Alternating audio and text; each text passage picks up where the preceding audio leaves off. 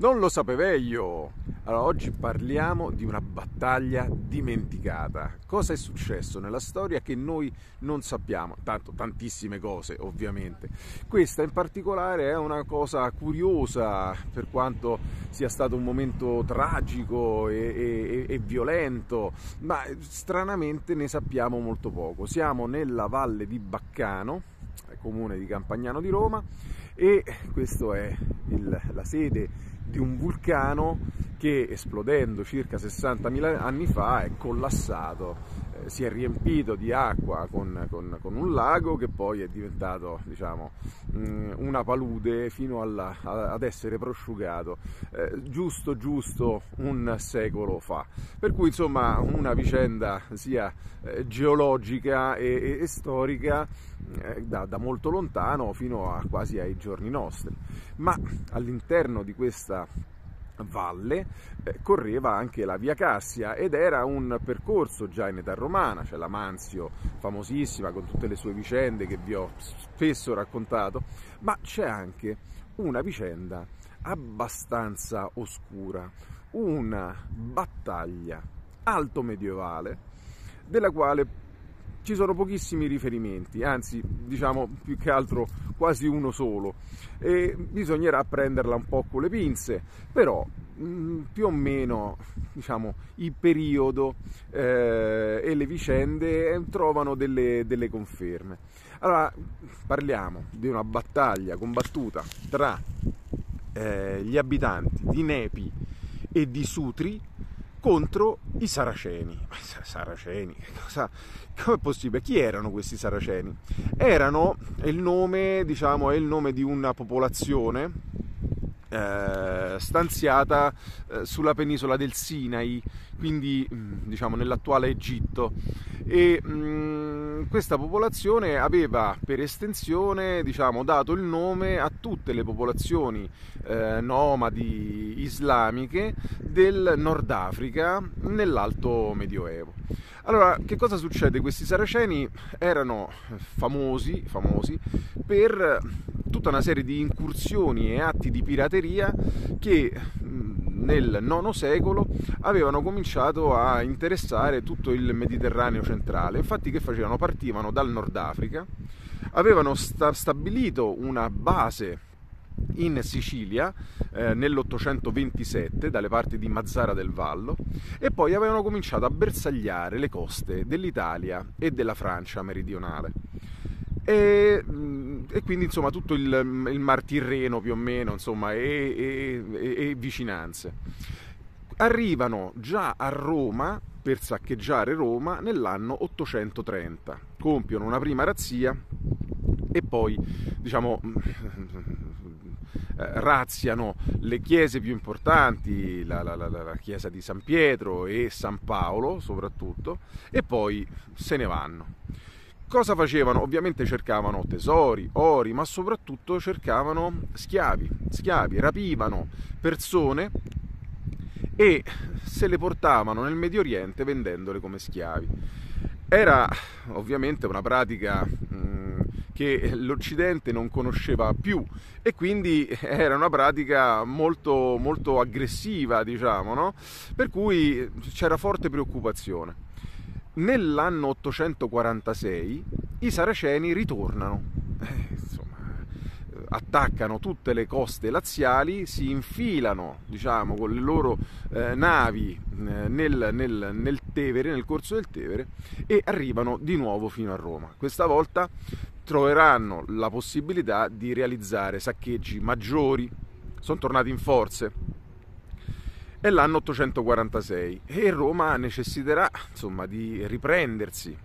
da questa grossa batosta, per cui eh, verranno costruite le mura. Eh, la Civitas Leonina, eh, Papa Leone IV, costruisce appunto queste mura tra gli anni 800 848 e 852 a cui, spesso ve l'ho già raccontato, parteciperanno anche degli abitanti di Veio perché la milizia Capracorum realizzò una torre e una pagina muraria eh, proprio delle, delle, delle, mura, delle, mura, leonine e c'è una eh, iscrizione che ancora ricorda questa eh, partecipazione diciamo, della milizia Capracorum a questa realizzazione murata sopra eh, alla porta angelica, la porta attraverso la quale si entra in Vaticano eh, per, per, esempio per i pellegrini della via Francigena. Ma eh, insomma, i saraceni dopo l'846 continuarono a bersagliare le coste del, dell'Italia centro-meridionale e saranno i napoletani a mh, mm, porre una resistenza. E quando ci sarà la minaccia di un nuovo attacco nei confronti di Roma, questa volta con forze veramente imponenti da parte dei saraceni, si organizzerà una lega, una lega la Lega Campana, che prevedeva la partecipazione delle città di Napoli, Sorrento, Amalfi e altre, Gaeta, e tutte queste misero a disposizione i loro uomini e le loro navi per por, per, per, ostacolare diciamo, l'accesso, lo sbarco dei saraceni che volevano sbarcare a Ostia, siamo nell'849, la battaglia di Ostia, una battaglia anche questa eh, dimenticata, ma fu probabilmente la più grande vittoria del, de, de, de, contro, contro, i saraceni prima della battaglia di Lepanto, di, parliamo di 600 anni successiva. Quindi insomma la battaglia di Ostia, 849, nel frattempo i saraceni gravi perdite riparano, rientrano diciamo nelle loro basi siciliane e torneranno, torneranno però in forze, torneranno in forze qualche anno dopo perché noi sappiamo che nell'870 venne distrutta proprio dai saraceni la eh, città e la, la, la Domus Culta, anche il, il, il, borgo fortificato e la Domus Culta che si trovavano lì nei pressi di Galeria. Quindi diciamo che nell'870 i saraceni continuano a eh, diciamo, impattare sul nostro territorio. Questa fase, questo momento diciamo così aggressivo, ecco c'è un camioncino che passa che racconta delle storie, questa fase così aggressiva dura, dura, eccola, grazie, dura ancora a lungo eh, l'870 abbiamo detto distruzione di Galeria, ma ci sono altre tracce, probabilmente la stessa Domus Culta Capracorum verrà, ehm, che si trovava diciamo, nel, dove oggi più o meno si trovano i campi della Lazio, dall'altra parte della collina, mm, eh, in un luogo dove già passava una strada di pellegrinaggio che possiamo chiamare già via Francigena, insomma i saraceni distruggeranno probabilmente anche quella, fonti e scusate, tracce archeologiche ci testimoniano di un grande momento alla fine del eh, IX secolo di distruzione e di incendio eh, rispetto appunto alla chiesa di San Pietro nella Domus Culta Capragorum. Quindi insomma saraceni che scorrazzavano nel nostro territorio arrivano addirittura a ehm, impegnare il Soratte, il Monte Soratte, e qui torniamo appunto alle memorie di San Nonnoso, anche se San Nonnoso è vissuto nel VI secolo, ma insomma chi ha raccolto eh, memorie e testimonianze del Soratte ha raccontato anche questa vicenda. E con grave danno ovviamente per il, per, per, per il monastero di San Silvestro che si trovava sul Soratte e per le reliquie e insomma quella, quell'area era già sottoposta alla diocesi di Nepi eh, e quindi nepesini e sutrini si eh, organizzeranno per una difesa strenua del, del territorio.